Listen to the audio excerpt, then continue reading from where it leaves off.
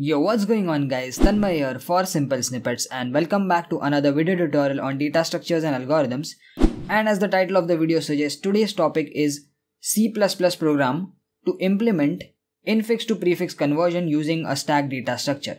Yes, this is the practical side of infix to prefix using stack data structure and and if you've missed the part 1 where we've discussed the pseudocode, discussed the rules that are involved when we convert a infix expression to a prefix expression, please do watch the previous video that is absolutely important because only then you will understand this code very easily. But if you're just here to see the practical side, the implementation side, then please make sure you watch this video till the end and I highly recommend that you type this code along with me for the best practice. I'm obviously going to be sharing this code as well as some theory related to infix to prefix using stack data structure. You can find that article in the video description on our official website. And with that being said, let's get started.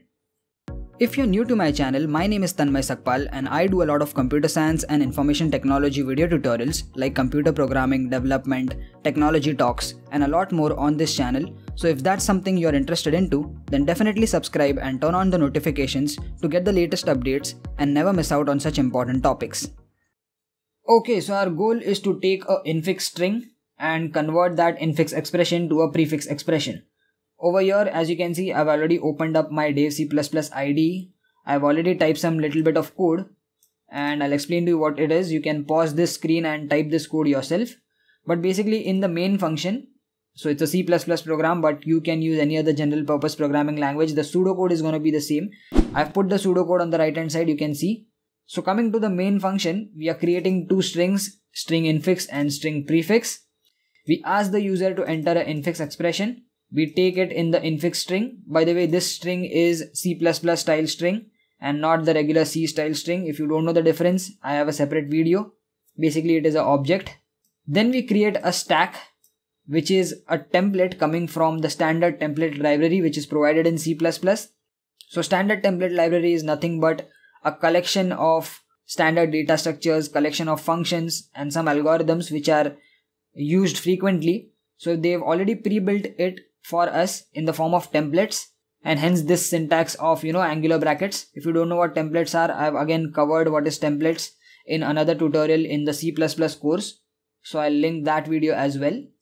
So this stack basically is coming from the standard template library and hence over here you can see i've said hash include stack which includes all the stack related functions and classes and operations into our program. Okay? So we create an object of stack. And this stack is gonna store character elements. So that's why we've given char in the angular brackets. So this template is gonna take character value.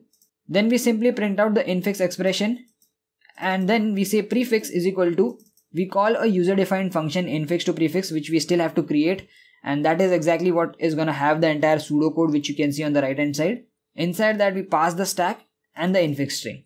And once this function finishes its execution obviously it will return a string which is gonna be a prefix string for this infix string basically. And then we will print that out saying pre prefix expression is equal to prefix okay? This is the int main function. I did not type it out from scratch because it will just waste some time. But now let's get started with creating this user defined infix to prefix function. Obviously it is returning a string. So the return type is going to be string obviously now this function takes two parameters. You can see it is taking the stack which is of character type. So that we have to define over here. And the second is a string infix. Okay, so infix we are passing and let's name this as stack only or let's keep it s for simplicity purpose. So you can see first argument is a stack object of character type. So s. So when we pass stack it is passed as s and then we pass this infix string. So that's why string infix. So two arguments inside this user defined function. And now we can start writing and following the pseudocode. Now if you see in the pseudocode the very first statement is to reverse this infix string right? Before reversing we will create a string prefix also because ultimately we will return this prefix string from this infix to prefix function. So the last statement is obviously going to be a return statement and we will return this prefix string and everything else will be in between this entire two statements. So first we create the string and whatever changes happen and whatever the algorithm makes change to this infix string we will store in this prefix string okay? And then uh, lastly we will return this prefix string. But anyways after this we have to completely reverse this infix string. So to do that we can write our own custom function or we can use some existing function which is predefined and we can directly use it and we are going to use this methodology where we are going to use a predefined function for the reversal. The function name is reverse and it will not run by default. You need to include this header file hash include algorithm which has these predefined functions which can be used to perform some algorithmic calculations. In our case we want to reverse a string.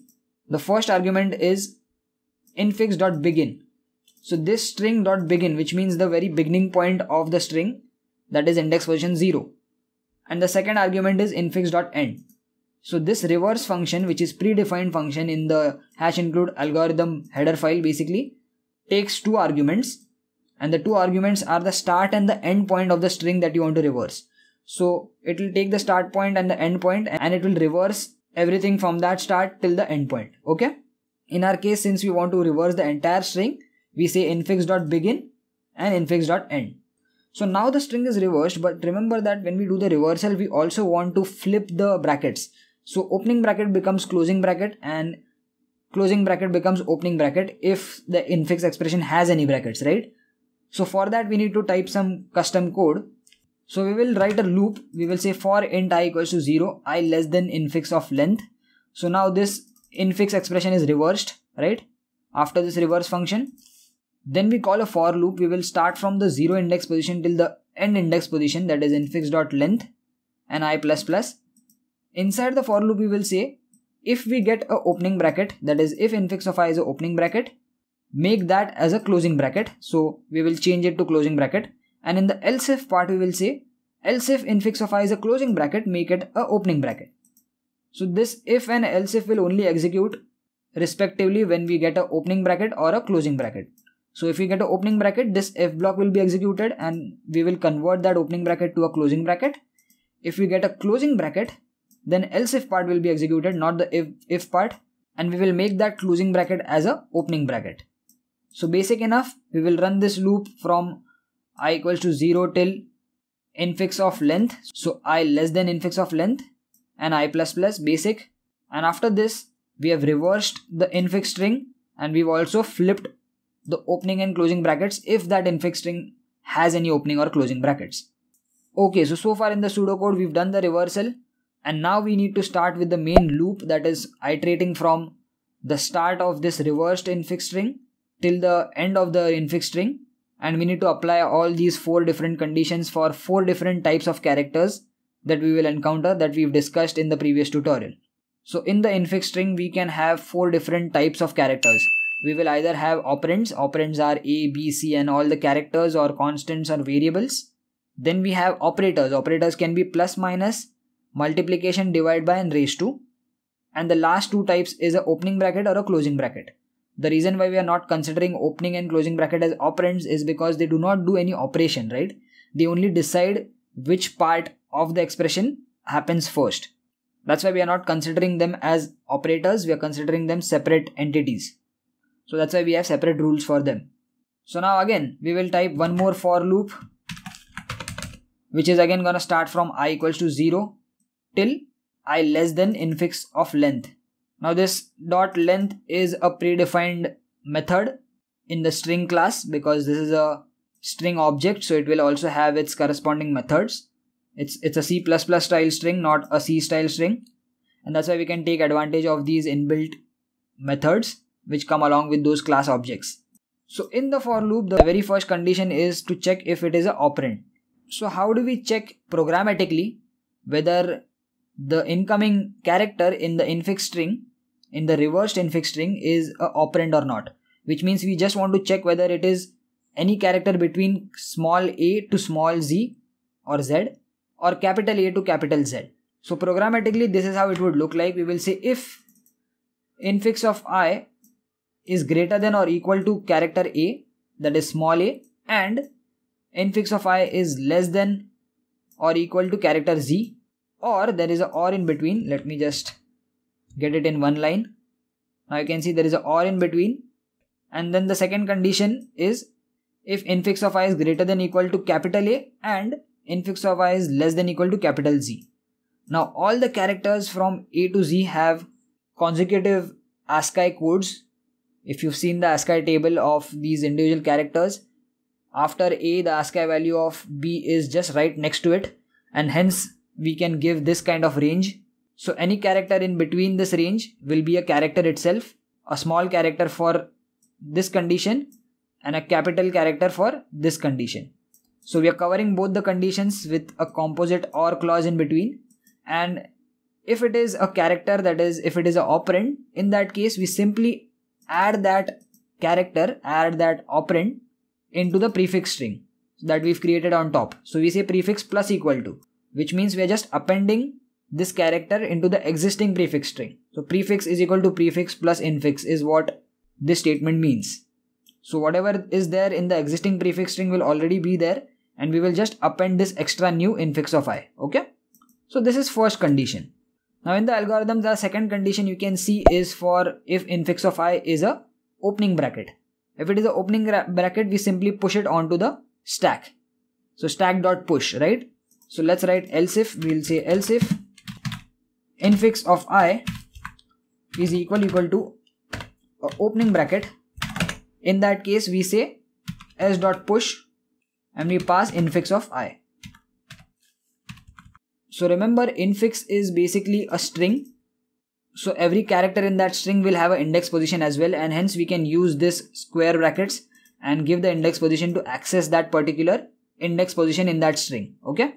So even though this string infix is a string class object it still operates like an array only which can take indexes and give that particular character at that particular index okay? So that's why we are saying if infix of i is equal equal to a opening bracket. Just push it onto the stack. So s is basically this stack that we've created in the int main. You can see we've created a stack over here stack char stack and we've passed it as an argument in the infix to prefix function. So we pass it as s and hence we can access that stack with the name of s. And since it is an object it will have its standard functions. A stack has its standard methods. What are the methods of a standard stack we have push we have pop we have top and we have a bunch of other standard methods of a stack. Now the reason why we are using this predefined stack is because our main focus of this tutorial is not to create a stack class from scratch but to do the conversion of infix to prefix. So that's why we are directly using a predefined stack.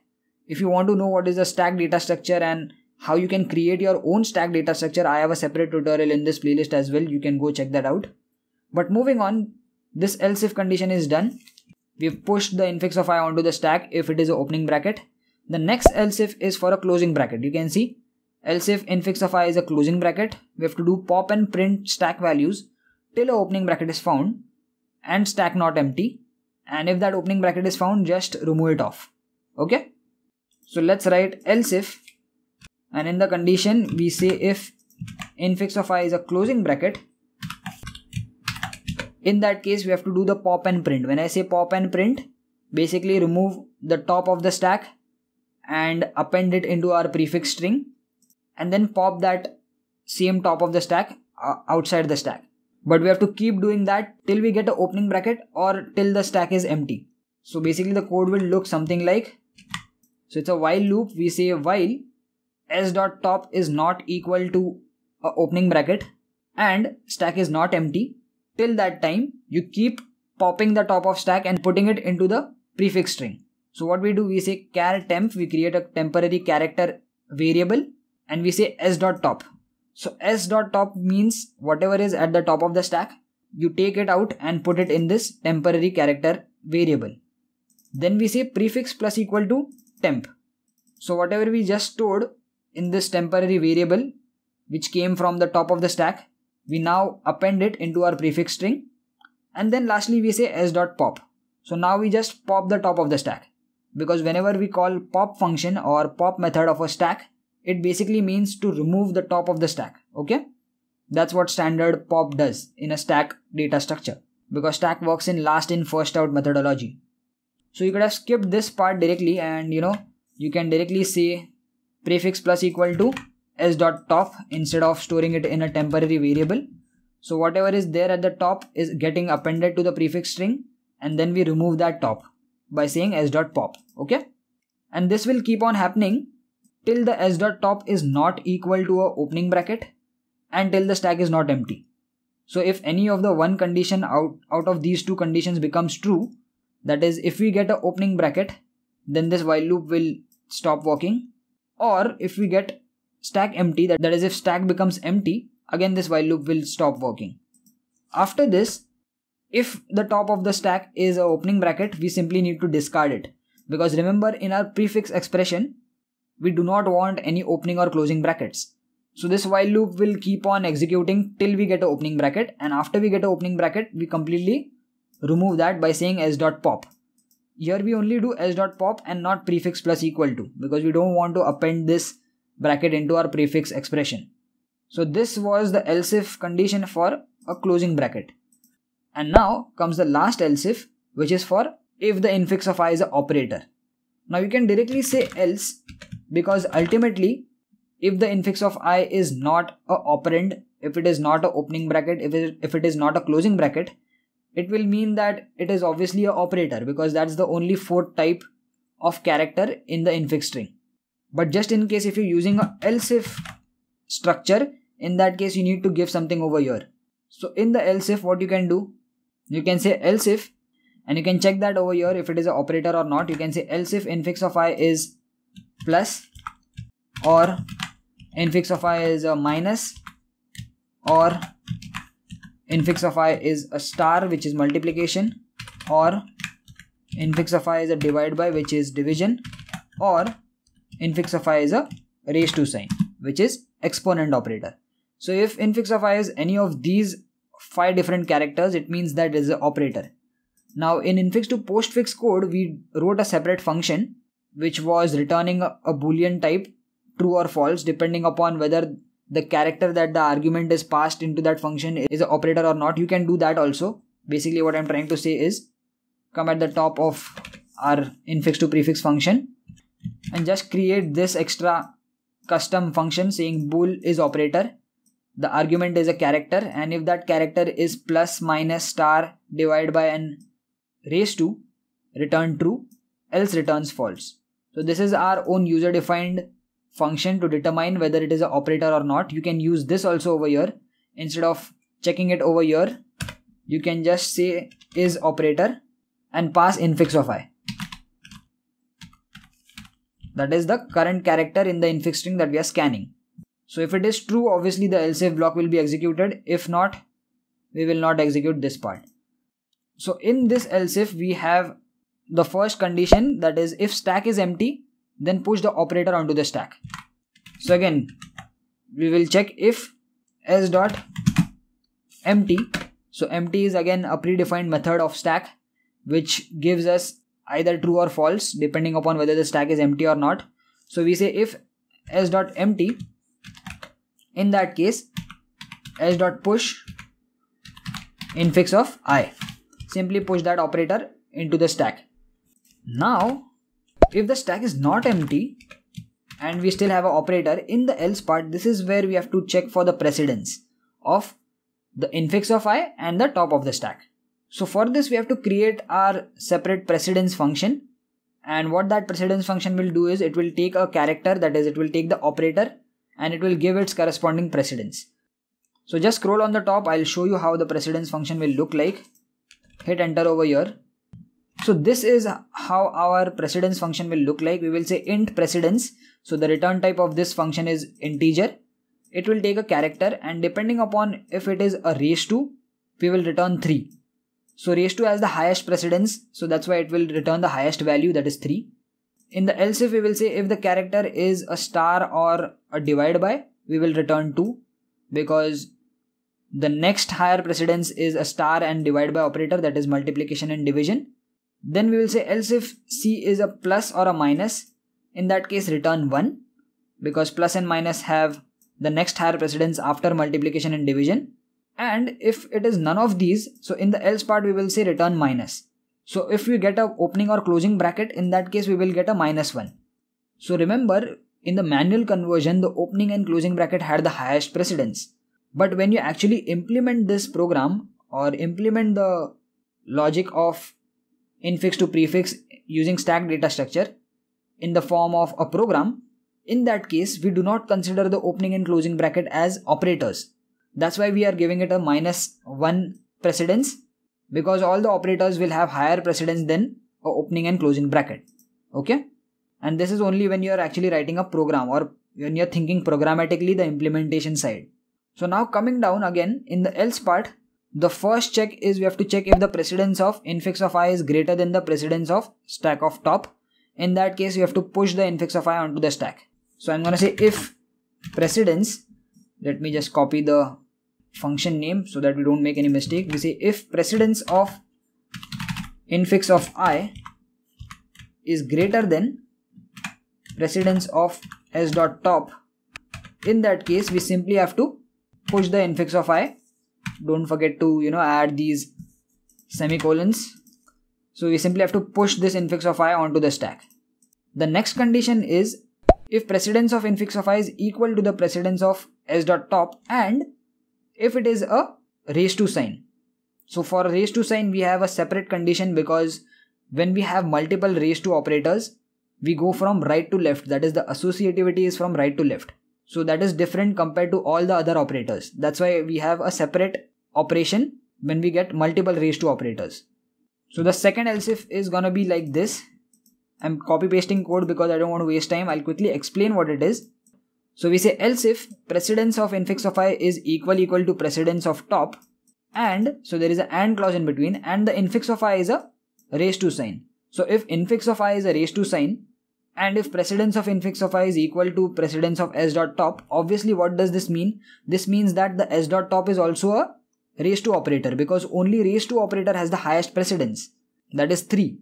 And if the precedence of infix of i is matching with the precedence of s dot top, and if infix of i is a raise to operator, obviously the s dot top is also a raise to operator. In that case, what we want to do, we want to pop this s dot top and put it into the prefix string. And then again check this same condition that is whether the precedence of infix of i is equal equal to this new top. Okay? So the condition goes as follows that is the same condition while precedence of infix of i is equal equal to precedence of top and infix of i is a raise to operator that is exponent operator obviously this is always going to be true in that case you just say s dot top and put it and append it into the prefix string and then pop the s dot top so the top of the stack is popped off so now that raise to operator from the top of the stack is removed. So we might get some other operator. And in that case, this while condition will not become true. Let's say in the stack we had a raise to operator at the top and once we popped it out, let's say we have a multiplication operator. So in that case, precedence of infix of i that is precedence of raise to operator that is 3 will not be equal equal to precedence of s dot top that is precedence of star. Precedence of multiplication is 2. So 3 is not equal to 2 and this while loop will stop working. So lastly, we simply have to push this infix of i that is push this raise to operator onto the stack. So after this while loop, we have this instruction which says s dot push this infix of i. Okay, so this was the second else if condition. Now the third else if is where we have similar condition, but this time we don't have and clause, which means over here it is for precedence of infix of i is equal equal to precedence of top, but this operator can be multiplication and division or it can be plus and minus because multiplication and division have same precedence plus and minus have same precedence. So for them remember the associativity is from left to right. So in that case we don't want to pop them out of the top and put it into the prefix string we want to you know push the infix of i onto the stack so that you can see in the pseudocode as well so i'm gonna say s dot push now the last condition is where the precedence of infix of i is less than the precedence of s dot top. So that you can simply write in the else block. You don't have to say else if precedence of infix of i is less than precedence of top. Obviously if the first four if and else if blocks did not execute, what it would mean, it would only mean that the precedence of infix of i is obviously less than the precedence of s dot top because only that condition is left after these first three conditions. So the else part will only be executed. So in the else part, we want to simply take the top of the stack, append it into the prefix string and pop that top of the stack. And we have to do it till stack is not empty and till the precedence of infix of i is less than the precedence of s dot top. So these two conditions are important to remember and we have an and in between. So the while loop will keep on executing till the stack is not empty and till the precedence of infix of i is less than the precedence of s dot top. So every time the s dot top will be stored and appended into the prefix string and then it will be popped off. It will be removed. After this while loop is done, we will simply say s dot push that is take this incoming operator and push it onto the stack. Okay. So these were the four different conditions when we get an operator and the stack is not empty. And this is specific for infix to prefix. Okay. So if you've seen a code where it is said that we just have to take the infix to postfix logic and apply it as it is after reversing the infix string, then it will not work. In infix to postfix, many of the conditions are similar to infix to prefix. However, this four conditions are slightly different. In infix to postfix, there is slight variation. Now after this, obviously we will end the for loop. So where is the end of the for loop? This is that for loop. Let's see where it ends. Okay, so the for loop ends over here. After this, there might be some operators left in the stack. So we simply say while stack not empty, just take the top of the stack, append it to the prefix string and s dot pop. Right? So that so this code takes care of this pseudocode line pop and print remaining elements of the stack. And the last thing is we have to again reverse this prefix string and return it from this function. So at the top we did the reverse. You can see. Just copy this code paste it over here and in the place of infix we say prefix because we've built the prefix string over here.